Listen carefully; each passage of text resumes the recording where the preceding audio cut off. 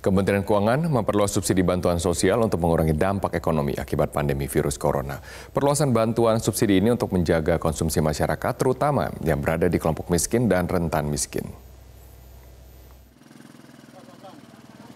Pemerintah melalui Kementerian Keuangan memberikan dukungan tambahan bagi bantuan subsidi. Bantuan ini mencakup tambahan untuk program Keluarga Harapan sebesar 37,4 triliun rupiah, bansos sembako sebesar 43,6 triliun rupiah, hingga bansos sembako untuk wilayah Jabodetabek sebesar 6,8 triliun rupiah. Pemerintah juga memperpanjang penyaluran bansos wilayah Jabodetabek dan bansos tunai non Jabodetabek menjadi 9 bulan hingga akhir tahun ini. Namun nominal penyaluran bansos akan diturunkan dari Rp600.000 per bulan menjadi Rp300.000 per bulan mulai Juli hingga Desember nanti.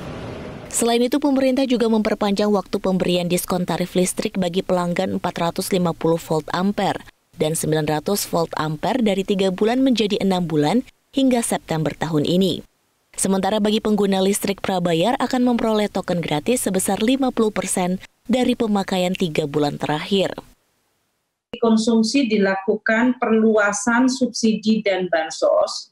Ini sekarang dengan yang telah disampaikan selama ini, kita telah mencakup mendekati 55 persen dari penduduk Indonesia mendapatkan bantuan sosial dalam berbagai bentuk.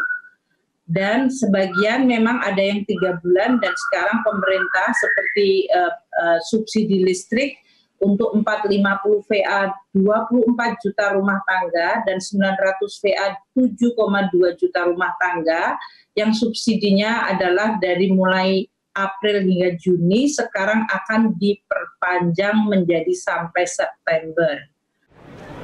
Total nilai bantuan sosial dan subsidi yang diperluas ini mencapai 172,10 triliun rupiah.